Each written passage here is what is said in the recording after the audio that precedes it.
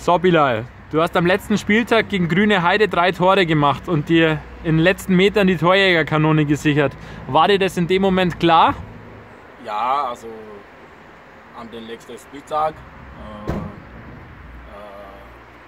die, die Leute, also nach Spiel, äh, die zu mir gekommen und die sagte zu mir erstlich äh, Glückwunsch. Äh, ich war die Torjägerkanone. Ja. Okay. 28 Tore in 28 Spielen. Äh, hast du auch Wechselanfragen gehabt von anderen Vereinen? Ja, schon. Ich habe schon äh, euer Angebot äh, bekommen. Aber so muss es meinen Verein. Also, ja, die Mannschaft ist nur, nicht nur äh, über Fußball. Wir sind also wie eine Familie und viele unter Unterstützung.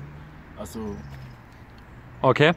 15 Träger Erdinger Weißbier. Äh, trinkst du alles allein oder kriegen deine Mitspieler auch was davon ab? ich schaffe mal nicht alleine. Nee. ja, ich gebe einfach zu meiner Mannschaft, also ohne meine Mannschaft, äh, ich schaffe es sowieso nicht. Okay. Vergangene Saison seid ihr Vierter geworden mit Sulzimos. Was ist denn das Ziel für die Saison?